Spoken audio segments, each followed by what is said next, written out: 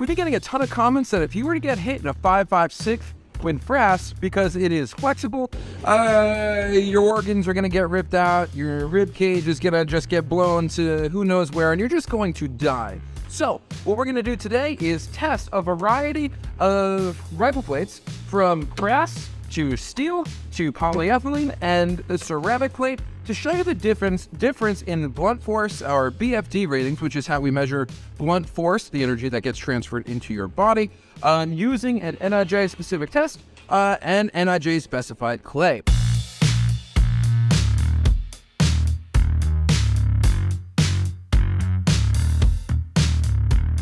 First thing we need to do is take care of our clay conditioning block.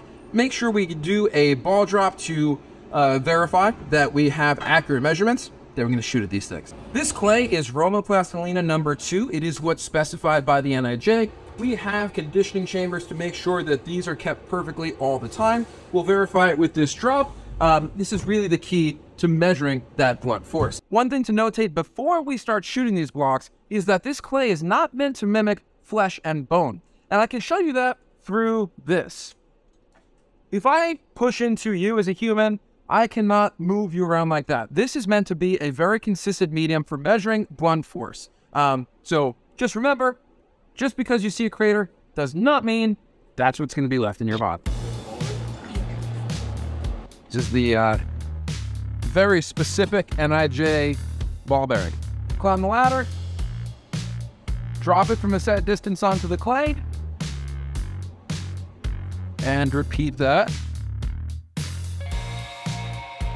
Next, we're going to level this off and measure the indentation that's in that clay block. It needs to be 19 millimeters plus or minus 2 on average to be within spec.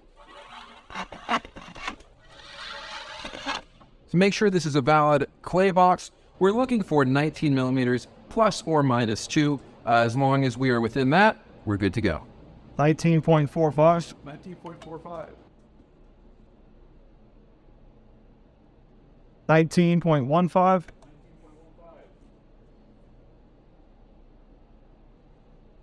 20.25.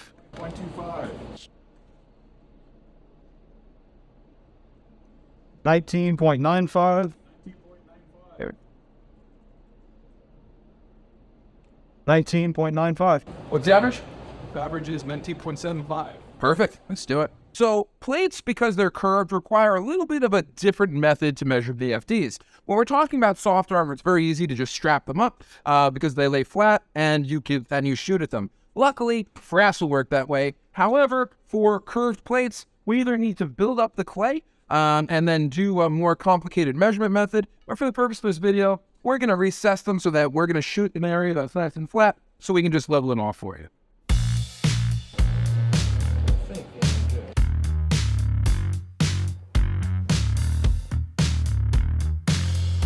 A little strap happy here with all these plates. We're gonna be taking one shot at all of these. We're gonna scrape it off, get the back face deformation on each one of them. We're gonna start with shooting the generic uh, ceramic plate, followed by the AR500 steel, the Guardian polyethylene, and we're going to finish off with FRAS. We're gonna be using DRZ M855 factory rounds. First shot, ceramic. Woof. 3278. Uh, we're gonna move that right to shot two, please. First shot, 3,278 feet per second, right into that ceramic uh, generic plate. Next up, AR500 steel. Yes?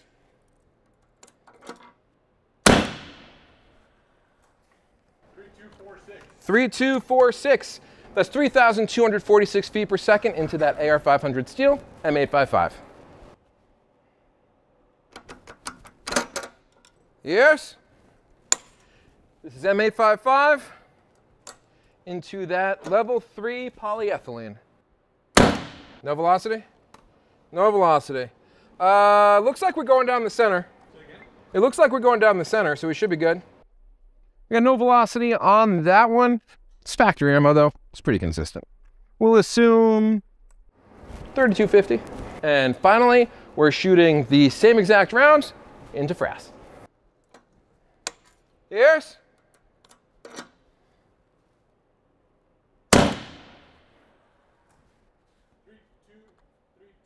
3232. That's 3,232 feet per second directly into FRAS. Let's check it out.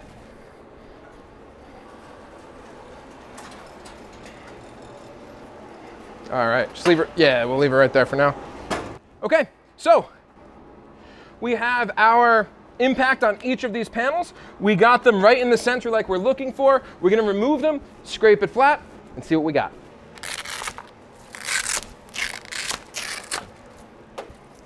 All right, so first thing we notice, no penetration on FRAS. No penetration on the ceramic, no penetration on the polyethylene, and no penetration on the steel. Let's flatten it out, we'll get our measurements. All right, we're gonna scrape this level.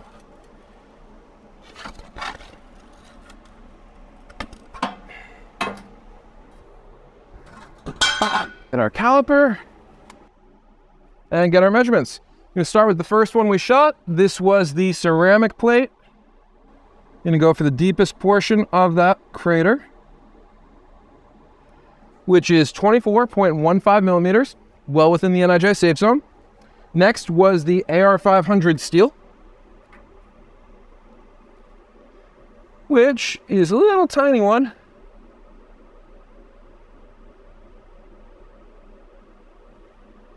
One point eight millimeters. Then we have the polyethylene plate.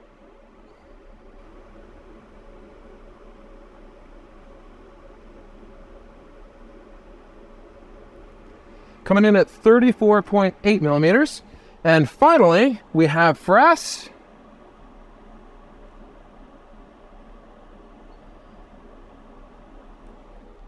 Twenty-three point nine five millimeters. Now, uh, it's important to note that the NIJ safe zone is 44 millimeters, um, and that actually out of all these panels, steel does do the best. Steel will have the best on the on the back face deformation. However, it's much heavier. You have spalling to deal with, and uh, it's just not as fun to wear.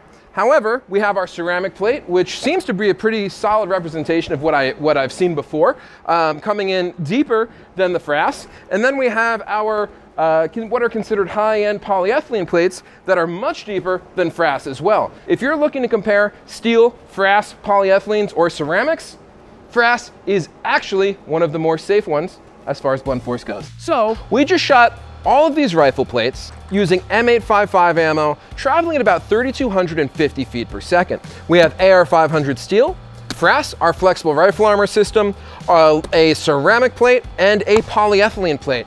AR500 came in at 1.8 millimeters of backface deformation. That's fantastic. However, it weighs about 9.59 pounds. Next best was actually FRAS, our flexible rifle armor. That came in at 23.95 millimeters, but only weighs four pounds. So you can get two and almost a half of these for each of the steel plates. The ceramic plate was close behind FRAS at 24.15 millimeters of backface deformation. However, it is a bit heavier at 5.89 pounds. And last, we had our polyethylene plate that came in at 34.8 millimeters of backface deformation, weighing in at about 4.67 pounds. What would you wear?